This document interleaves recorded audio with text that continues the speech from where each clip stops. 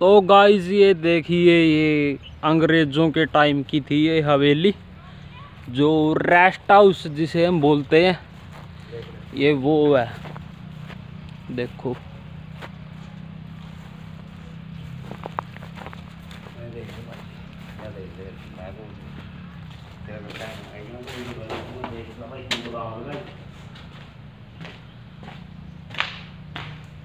अंदर से देखो।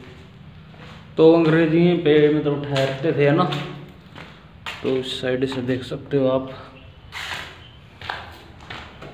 उस साइड से देख सकते हो आप, ये देखो।